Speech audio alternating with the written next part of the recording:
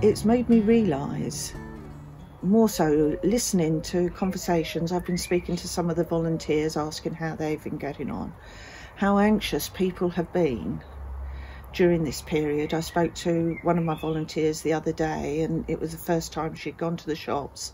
And she said she was really nervous. She was actually shaking outside as she approached the shop.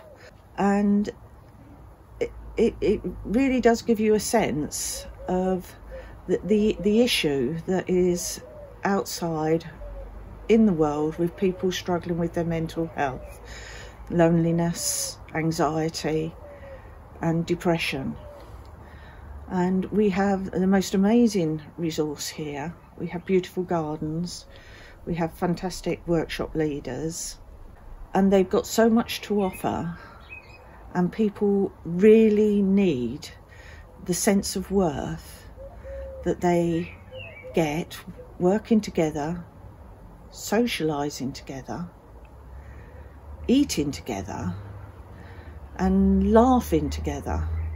And that's the laughter is the, the thing that I actually miss.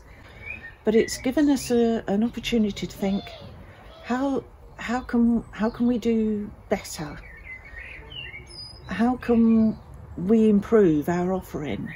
And I really think that the the, the Blackthorn Trust will come out of this period of uncertainty much stronger and better than it was before we moved into it. My three words that sum up Blackthorn are strength, compassion, and love.